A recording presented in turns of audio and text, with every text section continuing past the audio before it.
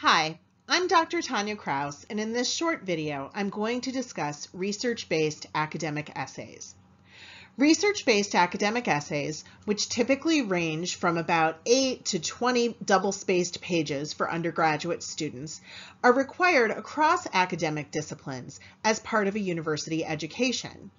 They offer students the opportunity to engage with the ongoing scholarly conversation about topics that are important in their areas of study. That said, students often dread writing these types of essays, or they lack confidence in their ability to succeed on such assignments. In this short video, I will discuss 1. Why professors assign research-based academic essays. 2 common mistakes that students make when they embark on writing this type of essay. And three, strategies for writing research-based academic essays with less stress. Professors don't just assign research papers to punish students and laugh at their pain. In all seriousness, they assign research-based academic essays in order to give students the opportunity to learn independently about a topic connected to the course that interests the, that interests the student. Sometimes professors will ask you to develop your own topic from scratch, and other times they will provide you with a topic. The goal, regardless of the approach, is to encourage students to engage with a broader scholarly conversation beyond what is presented in course materials and by the professor in class. Ideally, students will then be able to contribute to that conversation themselves. Writing research-based academic essays is first and foremost about independent inquiry and direct engagement with the important scholarly conversations, questions, and debates that surround a topic.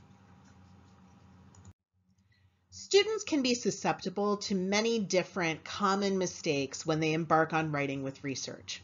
Some of these include trying to read the professor's mind in order to choose a topic that will work, regardless of whether that topic interests you, failing to follow the professor's explicit directions about the requirement of the content and formatting of the essay, selecting the first 10 sources that come up in a database or search engine search to use for your paper, regardless of what those sources say, limiting yourself to just one database, one search engine, or even one type of source for all of your research writing the paper all in one sitting without leaving time for reflection, revision, editing, or proofreading.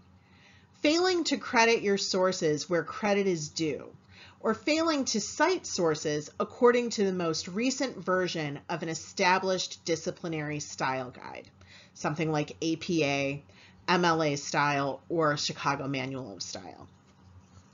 Many of these mistakes trace back to a lack of confidence in one's researching or writing abilities, and those insecurities can lead to poor decision making. Remember, though, that there are support services on campus, including consultations at the, at the library about research, appointments at the Writing Center that can help you throughout the process of writing this type of essay, and also that you can always visit your professor either during their office hours or by appointment. Seeking help through the process can boost your confidence and give you the tools you need to do your very best work.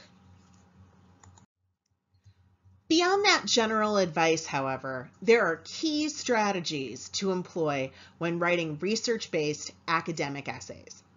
One, select a topic based on your genuine curiosity and a desire to discover knowledge that is new to you. Two, be sure to read any written assignment prompts carefully and to ask questions to be sure that you understand your professor's expectations. Three, evaluate your sources, assessing their credibility, relevance, and insight. Not all sources are created equal.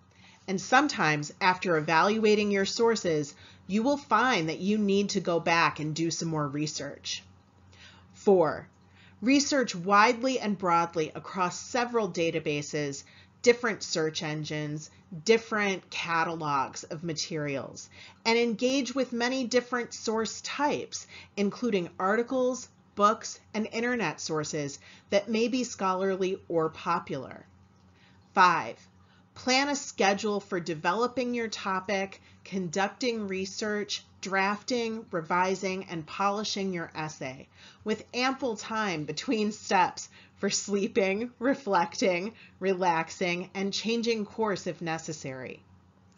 And finally, six, be sure to keep track of where you get information throughout the research and writing process, to cite sources as you write, and to make sure that you understand the rules for the citation style that you are using. Information has value, and by giving credit to our sources, we show that we value the sources that we are citing. If you're interested in seeing more of our videos, be sure to check out the NKU Honors YouTube channel.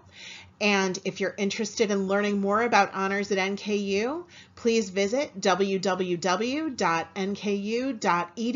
slash honors. Thank you.